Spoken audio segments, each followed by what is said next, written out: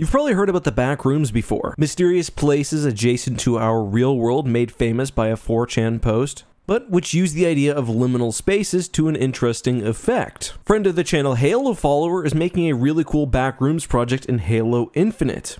As in the fiction, Halo followers' backrooms are terrifying. The idea is this the backrooms will be used in an infection game mode. They'll be somewhat randomly generated each time, and the players will have to hit three buttons under a specific time to move on to the next space. The really interesting part is how things will change each round to keep the game fresh and feeling like you're stuck in random back rooms. Everything from the actual layout to the lighting to how you can scrounge weapons. And this is the power of Halo Infinite's Forge, and the game mode hasn't even properly released yet. The lighting, for example, is fully broken. Imagine what it could look like upon release. You really need to go check out the original Halo follower video, so I'm going to link to that down below, but also like and subscribe here.